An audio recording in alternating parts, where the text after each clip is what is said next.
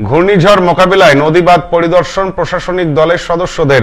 নদীর মোহনায় দুর্যোগ মোকাবিলায় মহড়া দিলেন বিপর্যয় মোকাবিলা দলের সদস্যরা। প্রশাসনের দাবি, বিপর্যয় মোকাবিলায় সমস্ত রকম প্রস্তুতি গ্রহণ করা হয়েছে। উত্তর চব্বিশ পরগনার বসিরহাটের সুন্দরবনের হিঙ্গলগঞ্জ, সন্দেশখালী, হাড়োয়া ও মিনাখা সহ বেশ কয়েকটি ব্লকে ইতিমধ্যে ব্লক প্রশাসনের সঙ্গে সব দপ্তরের বৈঠক চূড়ান্ত হয়ে গেছে। বসিরহাট মহকুমা শাসকের দপ্তরে মূল পয়েন্ট করা হয়েছে। সেখান থেকে বিভিন্ন ব্লকের বিডিওদের সঙ্গে যোগাযোগ রাখবেন খোদ মহকুমা শাসক মৌসম মুখার্জি।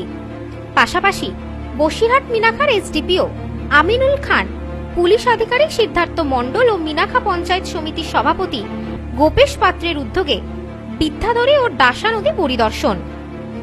পাশাপাশি নদীমাতৃক এলাকার সাধারণ মানুষের সাথে কথাও বলেন তারা। তাদের সতর্ক থাকার পরামর্শ দেন। অন্যদিকে, সন্দেশখালী ও হিঙ্গলগঞ্জ ব্লকের গৌরেশ্বর, কালিন্দি, দাসা এই তিনটি নদীর মোহনায় দশ জনের বিপর্যয় মোকাবেলা দলের সদস্যরা স্পিড বোট নিয়ে মহড়া দেন। কেউ বিপদের সম্মুখীন হলে যাতে তাদের দ্রুত উদ্ধার করে উঁচু স্থানে আনা যায়, সেই কারণে এই মহড়া বলে জানা গেছে। সন্দেশখালীর বিডিও অর্ণব মুখার্জির উদ্যোগে মেডিকেল টিম স্বাস্থ্যকর্মী, আশাকর্মী, বিদ্যুৎ দপ্তর ও পঞ্চায়েত প্রধানদের নিয়ে একটি বৈঠক করা হয়েছে। সেখানে সব রকম ব্যবস্থা গ্রহণ করার জন্য নির্দেশও দেওয়া হয়েছে।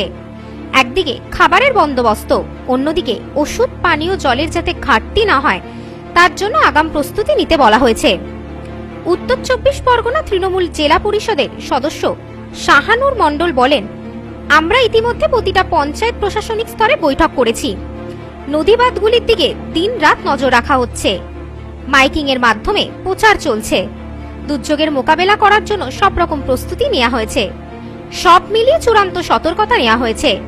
সাম্প্রতিক শীতকালকে কেন্দ্র করে সারা পশ্চিমবাংলায় বিভিন্ন নদী বাঁধের অবস্থা পর্যবেক্ষণ করছে আমাদের পশ্চিমবঙ্গ রাজ্য সেচ দপ্তর এবং ইঞ্জিনিয়াররা এবং চিফ ইঞ্জিনিয়ার এজিন ইঞ্জিনিয়ার, আমাদের যারা জনপ্রতিনিধি আমরা আছি, ক্যানিং মহকুমায় বাসন্তীর হোগল নদীর ছ নম্বর সোনাখালীতে বাঁধের অবস্থা খানিকটা খারাপ হয়েছে।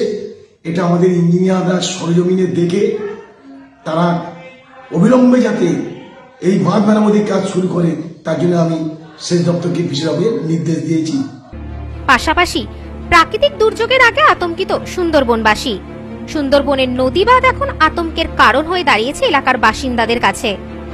দক্ষিণ চব্বিশ পরগনা জেলা সুন্দরবনের বাসন্তী এলাকার একাধিক নদীবাদের বেহাল দশা। নদীবাদ বেহাল দশা থাকায় সিঁদুরে মেঘ দেখছেন সুন্দরবনের বাসিন্দারা। এরকম বারবার ভাঙছে, চার পাঁচ বছর উঠে উঠে এরকম ভেঙে যাচ্ছে, আমাদের ক্ষয়ক্ষতি হচ্ছে খুব প্রচুর। ধান পান সবই নষ্ট হয়ে যাচ্ছে, আমাদের বাড়ি ঘরদোর নষ্ট হয়ে যাচ্ছে, আমরা কি করব?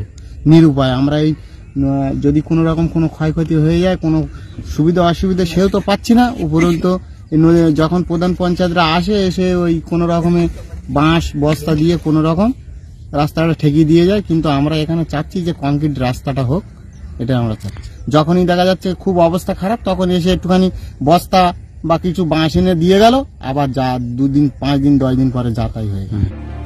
নদীবাঁধের যে বেহাল দশা রয়েছে, তা কার্যত স্বীকার করে নিয়েছেন বাসন্তী বিধানসভার বিধায়ক শ্যামল মণ্ডল।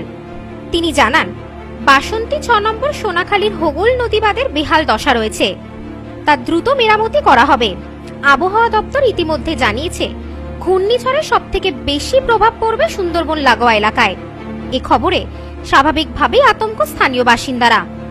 এই নদীর কানে বাড়ি, আমাদের সুন্দরবন অঞ্চলে বাড়ি, আমাদের বিশাল ভয়। টিভিতে তো সংবাদ দেখছি যে সুন্দরবন উপকূলে দেবে আসিটা পড়বে তাহলে আমরা কোথায় যাব?